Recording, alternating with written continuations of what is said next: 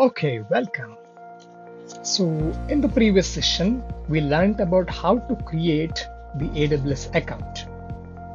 And now, in this session, we will going to create the EC2 instance and we are launching our own website. So for this one, so we were in this page. Once we create the account, you can just go to your dashboard that's the AWS here. Then from here you can directly access EC2 and uh, yeah different services. So otherwise you just have to click here view all services. If you are first time coming here then here it will show directly EC2 and uh, that uh, S2 something other services so here you just have to click view all services and now we are going to use the EC2 instance. So in this one, click on the instance. We need to create the instance. So this is the one earlier I used. So if you are using the first time means here it will be empty. Just uh, think like uh, nothing is there here. It's just empty then we need to create an instance. So for this one you have to click on launch instances. So then for here it's showing for the free tier in your first year includes 750 hours of t2 micro.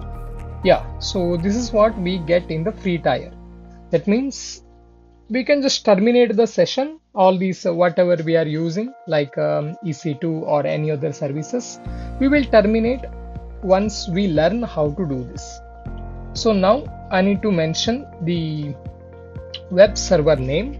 Uh, i just call it as uh, same thing okay? H d r o h i t h same thing.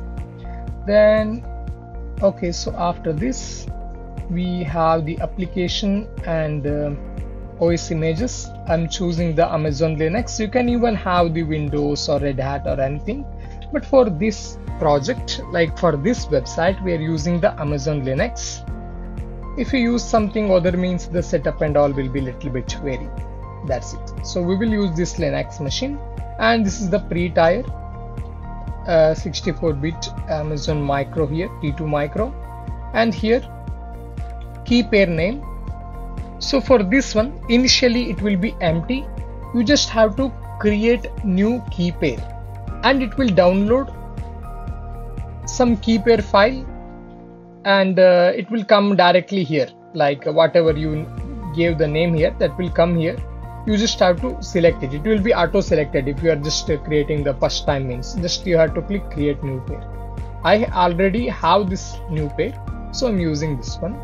Then after this so here create security group or select existing group. I'm just i you just use create security group allow ssh and https and http okay so ssh means uh, just to get access to the uh, whatever instances we have using ssh we can access its terminal or the linux system and these two https and http that's because we are creating the website. That means the web server. So we need to allow these two so that any user they will use our uh, uh, they want to visit our website. Uh, then we can use it using these two protocols. Then okay these things. Okay so now this is done. Then after this you just have to click launch instance please wait while it's launching. Okay so now here we can see successfully initiated launch of instance. Then just click on this.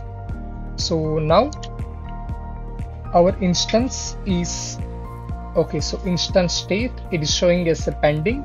That means uh, it takes some time to change the state to the running. So once becomes running and here status check it has to there will be a two checks. Both the two checks have to pass. So now we can just refresh it and we can see yes it's running now. And status check just wait for uh, 30 seconds maybe. So once these two become fine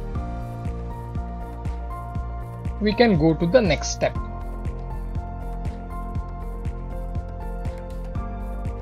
so here okay uh, we can just click on this instance id and um, uh, that checks uh, i think it will pass. Or should make it sure? We can just uh, okay so it's still in initialization state. Uh, but it's fine. Uh, nothing we did right so it will pass. So now here we have our instances and its details. So this is the instance id and we don't have any ipv6 address and hostname so in in this one like there are many ip address we can see right? So which one to use? Like which is our public ip address? So for that one you can just uh, read through this.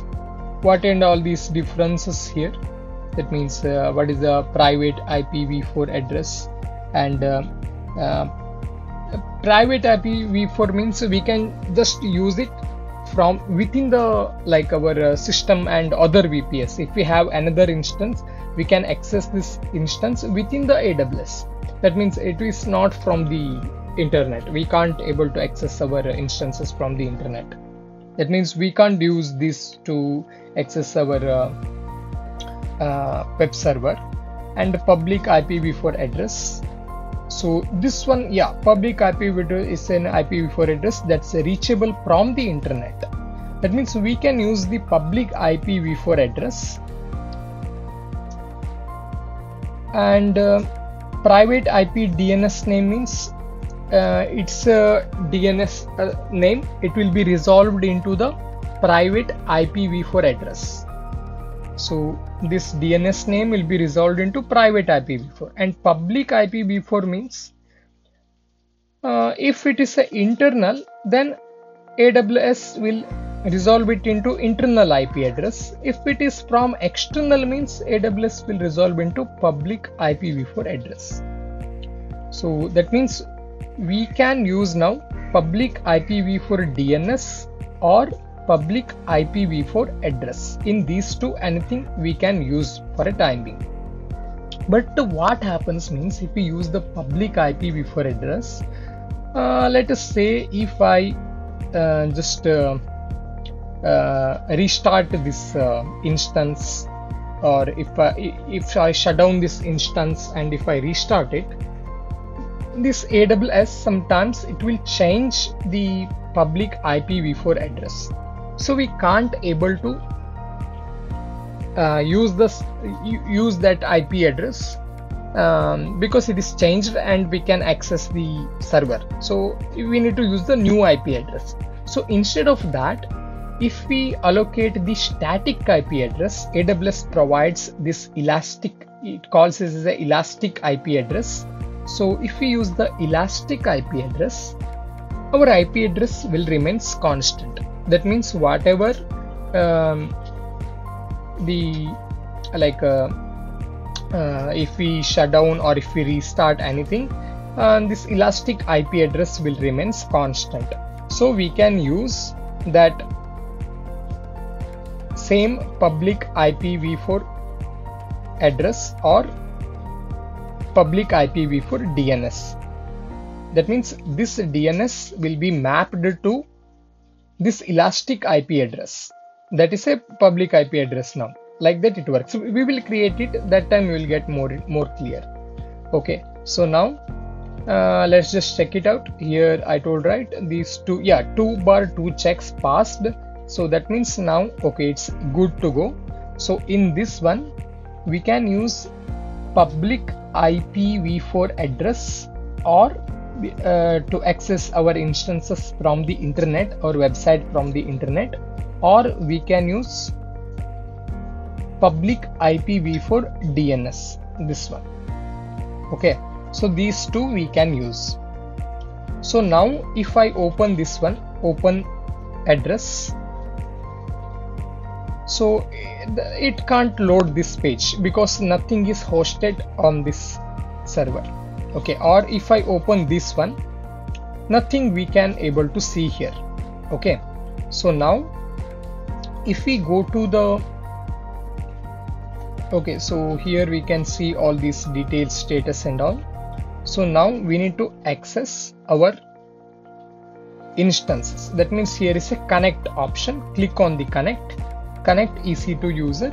Okay let's connect to our instances so this is our system what we created instance. So now here now we need to for the web server what we use means we use httpd okay so that's a small application that will uh, host one that acts as a server to host our files okay whatever we index uh, or uh, index or html or any files uh, web pages. So before we start we will update our linux system. So for this one i think i can little bit zoom it okay? So now for this one we will use this command sudo yum update let's copy this one. This is to update. So okay. I'm just copying this. And we have the EC2 instances here. And we'll paste this one here. So it will get updated if anything. So uh, now it's updated because just now I updated it. Otherwise you will get lot of uh, this terminal things and it will get updated and after that we have to install the httpd httpd and uh, start it and enable it. So for this one we can just copy these three commands and we can just paste it here in the EC2 instance or you just have to type these three commands. Okay so now dependent it will install it's already installed here but it will install and uh, it will control. Then after that so we have to go to this directory var www bar html and we need to create an index.html file. So let's go here. Cd okay this has to be small cd bar var bar so what is the directory? Www bar html so that's the directory. This server will going to uh, host the files by default. So now here var bar www bar html okay. So now here we need to create the index file. So for that vi and uh, index dot html i need to use the super user so sudo index.html and in this one now press i i means insert. So now we will write okay so here.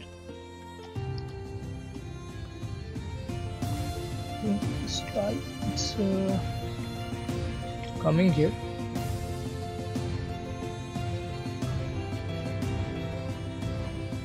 Let's write uh, welcome.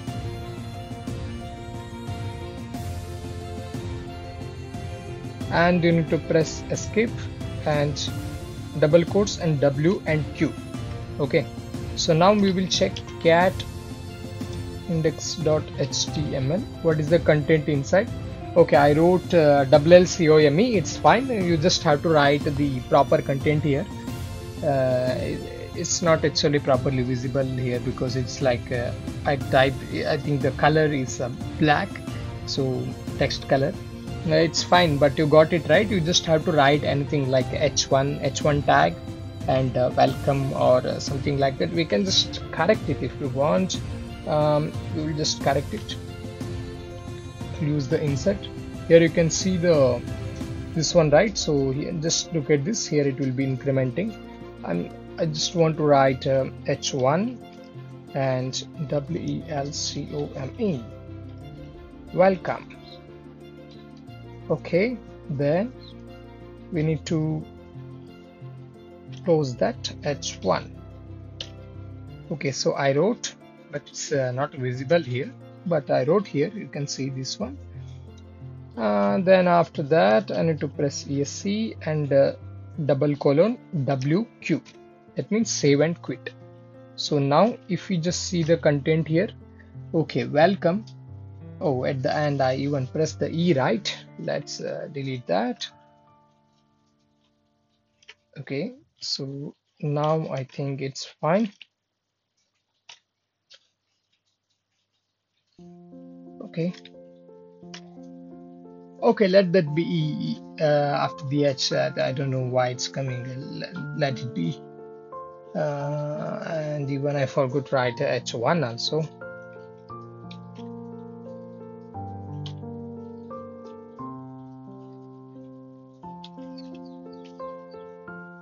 Okay so e and bracket and uh, maybe now it's fine.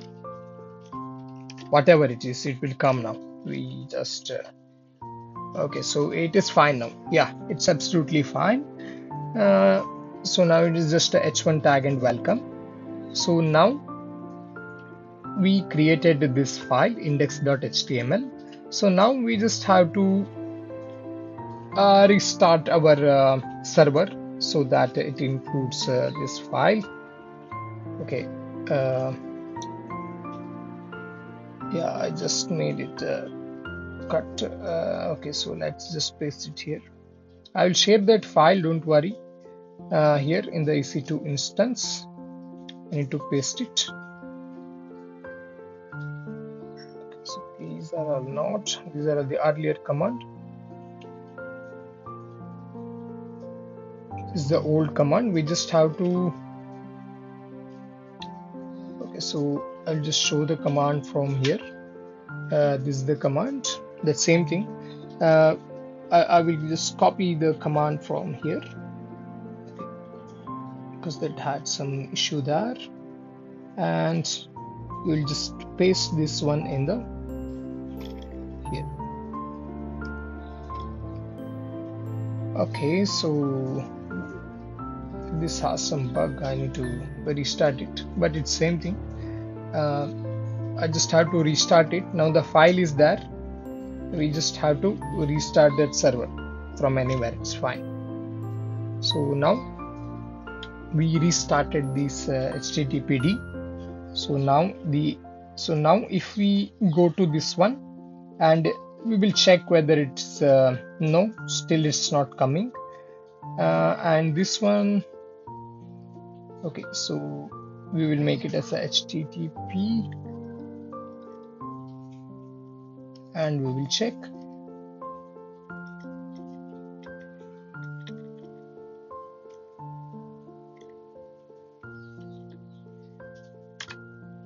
Yes it's working. Http welcome. And uh, here also i think uh, it's because of https it's not coming.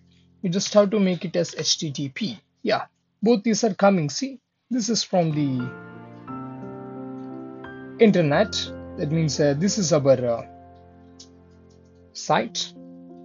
But why we can't able to access it using the http yes there's a question. Why means we don't have the ssl certificate which is associated with this one. So even though in the security tab even though in the security tab we included these rules like 443 https but we don't have the ssl certificate. That's why our browser is not trusting and without https this website is a trustful. That's why it is not accessible. But if you make it as http then it is accessible. As mentioned uh, here we use this for a testing of our web page so once we like we purchase some domain then uh, we can just go to amazon aws and we can apply for the valid ssl certificate for that domain.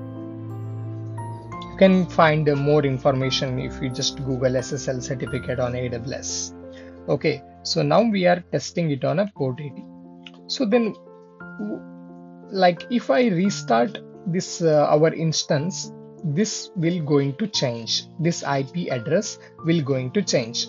That means this one this is a this is the ip that's the finally resolved public ip address and this is the public dns so aws will convert this into this ip address if we are reaching the site from the internet. If we are reaching this site from the local then it will resolve this into a private IP. So this is a public IP and this is a public DNS.